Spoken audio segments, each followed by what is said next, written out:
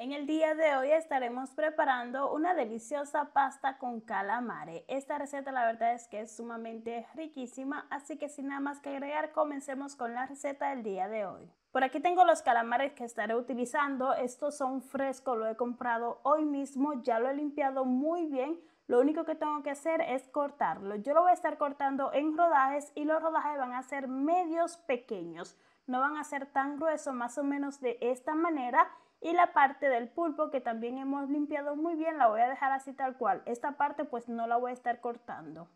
Y como se pudieron dar cuenta, yo le estuve dejando la piel a los calamares, no se la estuve quitando, esto ya es opcional, se la puedes quitar como también se la puedes dejar.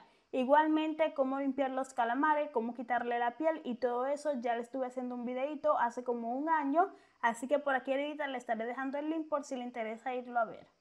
Una vez terminado de cortar los calamares, vamos a preparar los ingredientes que estaremos utilizando. Por aquí tengo una ramita de perejil, así que a esta le estaré quitando las hojas, ya que solamente estaré tritando las hojas. Lo que es la parte del tallo la voy a estar eliminando. Tritado el perejil, por aquí tengo tres dientes de ajo, así que estaré tritando también los dientes de ajo. Y nuestro último ingrediente que estaremos utilizando van a ser los tomates. Por aquí tengo unos cuantos, estos son pequeñitos, así que yo lo voy a dividir a la mitad. Y los tomates que son un poquitico más grandes lo voy a dividir nuevamente a la mitad de que queden de esta manera, que los pedazos sean pequeñitos para que a la hora que lo vayamos cocinando se van a cocinar mucho más fácil.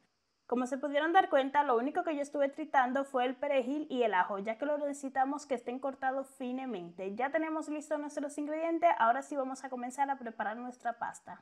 Encendemos el fuego, estaremos colocando este sartén, aquí le estaré agregando un poco de aceite de oliva, una vez que esté caliente estaremos agregando el ajo que hemos tritado finemente y también los tomaticos. Estaremos resolando por aproximadamente unos 3 minutos fuego bajito. Una vez que hayan rosolado por 3 minutos le estaremos agregando un ingrediente que le va a dar un toque increíble y es vino blanco. Por aquí lo tengo. Como se pueden dar cuenta la cantidad de vino que yo estoy utilizando es mínima, es solamente un poquitico. Esto va a hacer que le va a dar un gusto increíble a la pasta. Vamos a mezclar muy bien y el fuego tiene que estar siempre bajito porque los tomates lo que van a hacer ahora es que van a botar todo el juguito y se van a estar cociendo muy bien.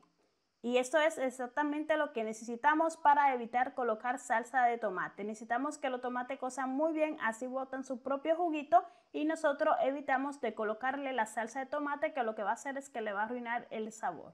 Ya los tomates han cocido un poco, así que es hora de colocar los calamares. Por aquí lo tengo, lo estaré colocando todo. Vamos a estar mezclando todo muy bien. Mezclado muy bien, lo vamos a dejar cocinar por aproximadamente unos 5 minutos a fuego bajito. Recuerden, no es necesario colocarle agua, ya que ellos se van a estar cociendo con la propia agua del tomate. Mientras los calamares van cociendo, aquí tengo el agua que he colocado a hervir para preparar la pasta. Yo estaré utilizando este tipo de pasta, aquí en Italia se llaman trofia. Ustedes díganme aquí debajo en los comentarios si en sus países la conocen. Esta necesitan al menos unos 9 minutos para estar muy bien cocida.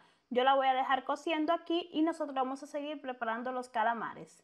Pasados los 5 minutos, vean estos calamares han cocido muy bien, así que solamente tenemos que esperar a que la pasta esté lista.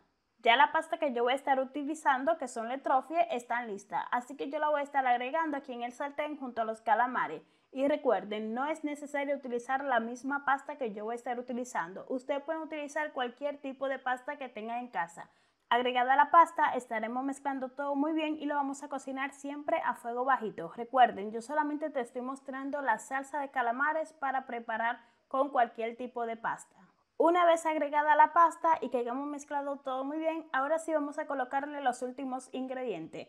El perejil que he tritado finemente se lo vamos a estar agregando ahora. Yo lo que suelo hacer es que le agrego una parte de la que he tritado ahora y ya luego más adelante cuando se sirvan las personas en el plato si desean agregarle un poco más, se la pueden agregar. El perejil y el ajo le da un sabor increíble a la pasta, así que yo se los recomiendo al 100%. De especia estaré utilizando una pizca de sal, un chorrito de aceite de oliva y una pizca de pimiento negro recién molido. Estas son las únicas especies que yo voy a estar utilizando.